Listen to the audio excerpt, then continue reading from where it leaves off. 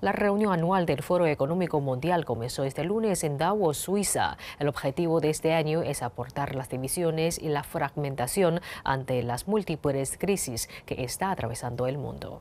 Klaus Schwab, fundador y presidente ejecutivo del organismo, alegó antes del comienzo de la reunión que distintas fuerzas políticas, económicas y sociales están fomentando una mayor fragmentación a nivel global y nacional. Schwab hizo énfasis en la necesidad de reforzar la cooperación entre los sectores público y privado y apostar a un crecimiento económico más resiliente, sostenible e inclusivo. El lema de este año es cooperación en un mundo fragmentado. Los líderes mundiales discutirán temas como energía, clima, conservación natural, economía, tecnología, sociedad, salud y cooperación geopolítica.